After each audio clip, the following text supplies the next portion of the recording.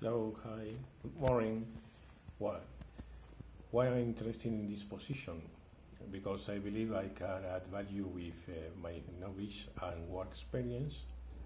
Number two, what do you, what I know about your company? Uh, Skylife is a software development company, quality management system software.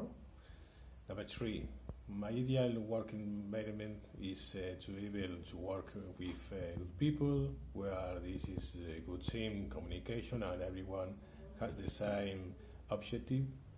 Number four, my strengths are I like uh, to achieve ambitious uh, goals. I am very responsible with my work. I'm very communicative and clear when expressing uh, myself. I like to work as a team. And number five, in five years, I see myself leading teams and managing management.